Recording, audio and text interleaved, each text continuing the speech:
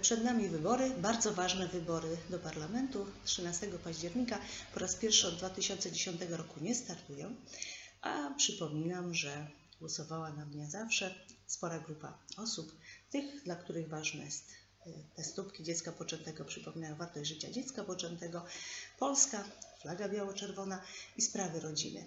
Tym razem nie startuję. Co mam do zaproponowania moim wyborcom? Ostatnio głosowało na mnie ponad 3000 osób, a chciałam Wam powiedzieć o osobie, która mam nadzieję, że jeśli chodzi o obronę dziecka poczętego, jeśli chodzi o służenie prawdy, o małżeństwo, o rodzinie i o zagrożenia związane z niektórymi zjawiskami, że bardzo kompetentnie i bardzo rzetelnie posłuszam. Zapraszam tutaj koło mnie.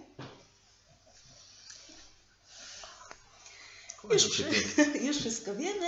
Przedstawiamy. Bardzo proszę przytrzymać. Pan Zbigniew Bogucki, numer 16, lista Prawa i Sprawiedliwości, Zjednoczona Prawica.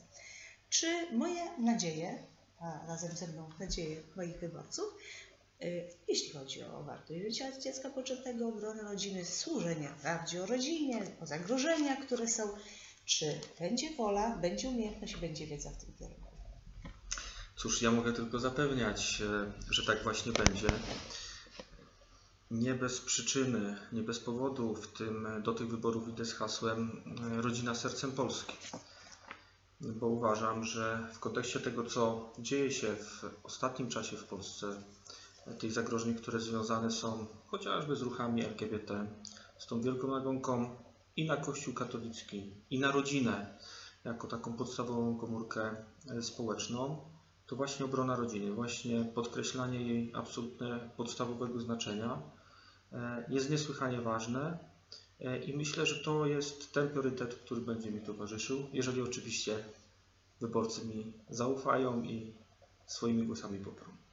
Proszę może przypomnieć, czy kompetencje zawodowe będą tutaj przydatne? Jakie to są te kompetencje zawodowe? Ja wiem, ale myślę, że wyborcy chętnie jeszcze usłyszą.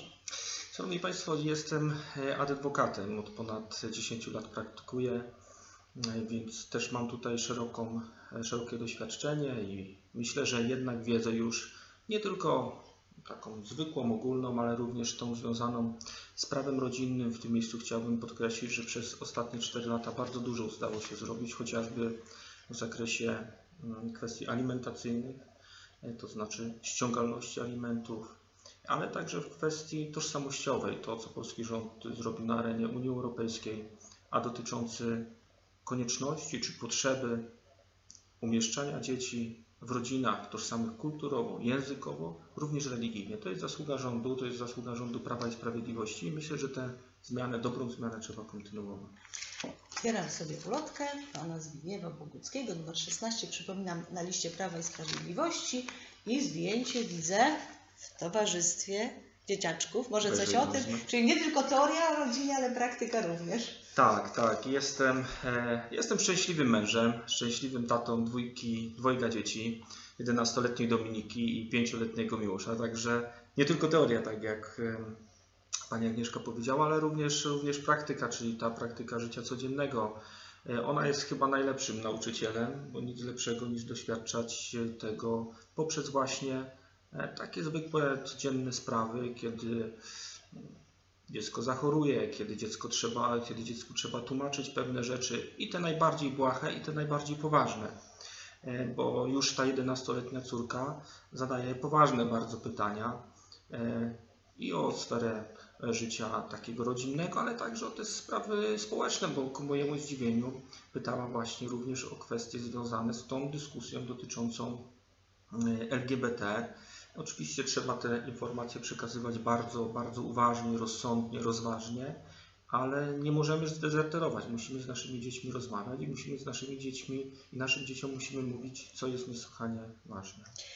Y, czyli tak, zawodowe przygotowanie jest, własna praktyka rodzicielska jest. Y, czy jest odwaga i umiejętność zabierania głosów w tak delikatnych kwestiach jak sprawy rodziny? Pytam, bo może nie każdy, tak jak ja, miał okazję słyszeć wystąpienia Pana w audycjach, między innymi w ciągu dnia e, audycja Radia Maryja. Zgadza się. Kilkukrotnie miałem już tę przyjemność i okazję e, być gościem Radia Maryja. E, I tam poruszane były właśnie te tematy dotyczące rodziny i dotyczące tego porządku wartości, który dzisiaj jest tak bardzo ważny i jest tak bardzo atakowany.